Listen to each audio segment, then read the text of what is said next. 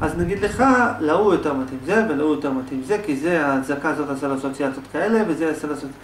נגיד יכולה להיות אזעקה של סכנה תברח, או סכנה תבוא לעזור. מאותה אזעקה. יכול להיות אזעקה תברח, תתכנס, אזעקה תציל מישהו. אתה מבין? אבל אנחנו לא יודעים מי האדם, אז אתה לא נותן לי את כל האינפורמציה שלי, מה עדיף? תשאל אותי שאלה אחרת, בהנחה שאני לא יודעת... אני. נו. עשו מחקר, שאם כאילו מישהו שהוא צועק את הצילו, הצילו, הצילו, אז פחות אנשים באים. אבל אם מישהו אותו דבר תצעק שרפה, שרפה, שרפה, אנשים יחשבו שהרכוש שלהם נשרף, אז הם יפתחו את החלום לראות מה קורה. זה אמיתי. אם מישהו יצעק הצילו, שד בא לקחת אותי. טוב. בכלל. טוב, עכשיו תקשיב, עכשיו תקשיב. עכשיו, בהנחה, אז תשאל אותי שאלה אחרת. בהנחה שאני לא יודע מי השכנים ומי זה ומי זה ומי זה ומי זה, מה עדיף? תשובה. דבר אחד, יכול להיות שאתה לא יודע, תעשה אקראי יצופלי. זה דבר אחד. דבר שני, בהנחה שאתה לא יודע, אתה יכול לעשות קבוצת ניסיון. לעשות אזעקה, לעשות פעם מאה ככה, מאה פעמים ככה, מאה פעמים ככה, לראות מה מגיב יותר, ולקחת ככה אקראי. האם זה בטוח יעבוד? לא, יכול להיות שבדיוק במקרה המאה האלה באו, תהיה קבוצה אחרת. זהו, זה הכל. רק שנייה, ויכול להיות שגם בדיוק תעבור קבוצה של חירשים. נכון, לדוגמה, ואולי הם צריכים אמצעים ויזואליים. יכול להיות הרבה דברים. עוד פעם, אתה שואל שאלה נכונה. אני רק אומר שקשה לתת על זה תשובה, כי השאלה לא מוגדרת. זה כמו לשאול, מה עדיף, איך, מה להגיד לבחורה משפט פתיחה. מאיפה אתה יודע מה להגיד? תלוי מי הבחורה, מה ההקשר, מה הסיטואציה, מה פה, מה שם. אתה... אתה מבין? זה כמו לשאול, מה לקנות מתנה למישהו? משהו שיעשה לו טוב. מה לקנות לו? לא יודע, תלוי מי המישהו.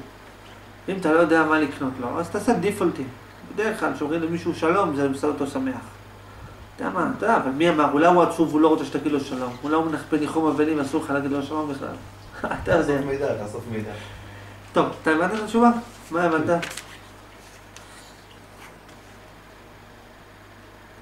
רגע, דוגמה נגיד, מה הבנת? שנייה. זה תלוי בי- ביחס אה, למי ולמה. נכון. עכשיו, אה, שנייה. דוגמה, דוגמה נגיד, אה, מתי זה יכול להיות בפועל, דוגמה מעשית, שזה יהיה עדיף על זה. Hmm? באיזה מקרה, באיזה, באיזה, באיזה ציר יכול להיות ש- שעדיף, באיזה, באיזה מקרה עדיף ככה, באיזה מקרה עדיף ככה. תשובה, עדיף זה ביחס למטרה. לדוגמה, אם המטרה היא שנגיד אנשים יבואו לעזור לך, נגיד פורצים לבית שאנשים יבואו לעזור, נניח, אני אתן לך דוגמה, אתה קודם שאלת על הרכבת, אחרי אני אתן לך דוגמה מהרכבת. בוא נגיד עכשיו לך דוגמה מהרכבת. נגיד, אתה אומר, הנהג הקטר רואה מישהו, איזה צפצוף הוא יעשה כדי שהוא רואה מישהו על, הפ, על הפסים, איזה צפצוף הוא יעשה בן אדם יברח, ואיזה צפצוף הוא יעשה והבן אדם יעצום עיניים ולא יברח. יכול להיות שני צפצופים שונים, יכול להיות צפצוף, יכול להיות אם זה נגיד הכלב שנובח, הוא היה בורח, הוא מפחד מכלב, הוא אמנם רוצה למות, אבל הוא עדיין מפחד מכלבים. יכול להיות הרבה דברים עכשיו. עכשיו, מה אני אומר? אני אומר, מה האמת? שיש הבדל בין הצפצופים, יש הבדל. אבל צריך לדעת ביחס לאותו בן אדם ספציפי שאמור לשמוע את זה, מאחר שאין לנו את האינפורמציה המלאה, לכן אי אפשר לתת לך תשובה מלאה.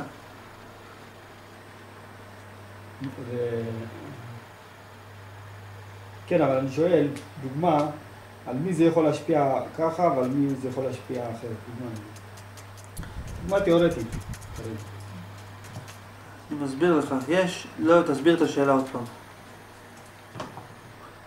לא, אני אומר, נגיד בדוגמה של הקטר, על מי נגיד יכול, יכולה להיות עדיף, עדיף אה, צפירה כזאת, ועל מי... תשובה, תשובה, תשובה, תשובה.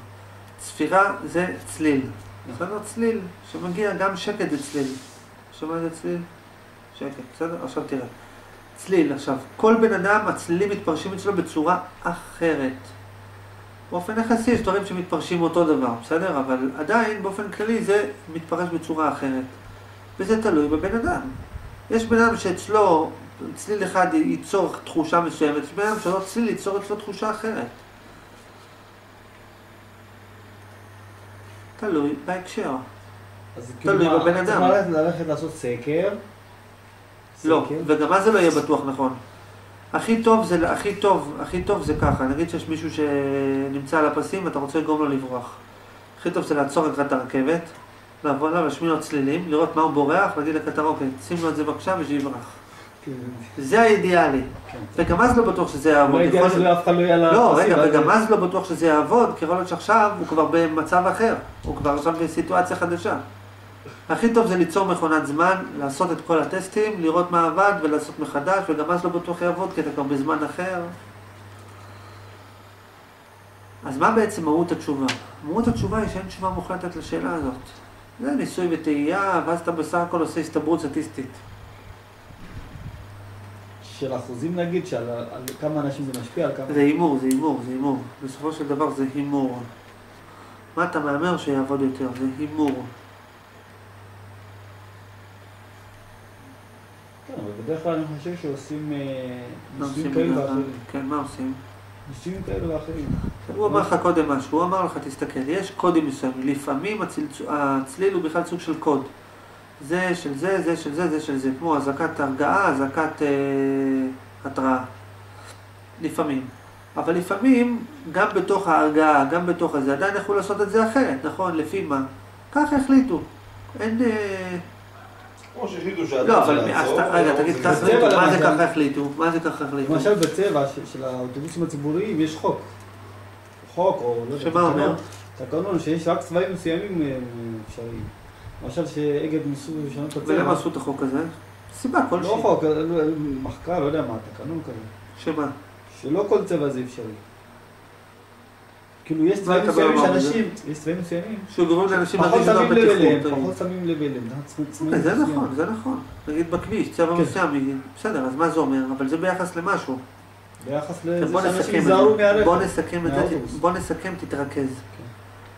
בגדול ככה, כל צליל, או במילים אחרות, כל צורה, יש לו את היתרונות והחסרונות שלה. זה לא יהיה נכון לומר שזה לא משנה. זה משנה תלוי מתי. עוד פעם, כל צליל, בכל הקשר, בכל היבט, בכל זווית, יש לו את המשמעות שלו. ולו יצויר שהיה לנו את כל המידע שצריך, היה אפשר להגיד לך, תביא עכשיו את הצליל הזה, או תביא את הצליל הזה, בדיוק בפרטי פרטים. בסדר? אלא מה? שאין לך את כל האינפורמציה, ולכן אתה לא יכול לתת תשובה מדויקת. זה לא אומר שזה, ולכן קוראים לזה שזה לא משנה. אבל לא זה לא משנה, זה כן משנה, רק אתה לא יודע. זה כמו באינסוף, אתה לא יודע לספור, אז אתה קורא לאינסוף, זה אותו דבר. נקודה יפה, כמו באינסוף, היחסיות. זה לא משנה, זה לא שזה לא משנה. זה זה לא משנה בגלל שאתה לא יודע. מההיבט שאתה לא יודע, זה לא משנה. אבל זה כן. כן משנה, רק אתה לא יודע. יפה, יפה. אז אתה לא יודע איך אתה יודע אה? שזה משנה. הוא מתחיל, לא יודע... מה שהתחלת להחכים, שקישרת שני דברים שנראים לא קשורים לאותו דבר. בסוף זה הכל עובד על אותו פרינציפ. כן, יחסי ומוחלט. האם באופן מוחלט זה לא משנה? לא, זה כן משנה. אני אתן לך דוגמה. האם זה לא משנה איזה צליל נעשה של האזעקה? משנה. תלוי. אם אנחנו מהיבטים מסוימים זה משנה, עוד פעם, אם אנחנו נחקור את הכל, זה כן משנה. אפילו נוכל להגיד לך בדיוק בשעה זה וזה, ביום זה וזה, לאיש הזה וזה שיעבור ברחוב הזה והזה, תשים צליל כזה וכזה. אתה מבין? אז למה אנחנו אומרים שזה לא משנה? כי אנחנו לא יודעים, אז קוראים לזה לא משנה. איך- אבל איך אנחנו יודעים שבאמת לאדם מסוים ביום מסוים זה כן משנה? צריך לחקור את זה. איך אנחנו יודעים. אז תשובה, מגדירים מה רוצים שהוא יעשה. ואז בודקים מה ההשפעה של הצליל ביחס למטרה שאתה רוצה שהוא יעשה. בעיקרון, באידיאל, לפני המעשה, השאלה אם אתה יכול לעשות את החישוב הזה לפני המעשה. תראה, אתה אף פעם לא יכול לדעת בוודאות מה יהיה בשעת מעשה. יכול להיות שבשעת מעשה הוא פתאום יקרה משהו אחר, אבל בעיקרון מה עושים? מה עושים בעיקרון? מה עושים בעיקרון? מה עושים שזה כשאתה קונה. טלפון? אז זה לא הוכחה שזה משנה. כשאתה. קונה טלפון, אתה? בודק איזה צליל בא לך לשים בו, נכון? נכון. איך אתה יודע? אתה אומר צליל, צליל, אתה אומר מה הצליל הזה גורם להרגיש? מה זה גורם להרגיש? מה זה גורם להרגיש? אוקיי, אני רוצה את הצליל הזה, לפי מה החלטת? אבל יכול להיות שביום מסוים דווקא הצליל הזה יעשה לך רע או טוב. זה אותו דבר. אלא מה? אתה, אתה אומר, מה אני חושב שזה יעשה. נכון. אבל זה מותאם אישית מראש. עכשיו, זה עניינים אסוציאטיביים. לפי מצב רוח, לפי פה, לפי שם. לא, אני אני שואל על הטענה שאומרת שאם יהיה לך את כל המידע, תדע במדויק שזה כן משנה. אם יהיה לך את כל זה- המידע, כולל המידע של מה יהיה מצבו של האדם באותו רגע, ומה הוא יחשוב כשבאותו רגע שהוא ישמע את הצליל הזה והזה, כן. זה כמו, זה כמו להגיד, אם אני אדע מראש מה יעבוד יותר טוב, אז אני אשים אותו.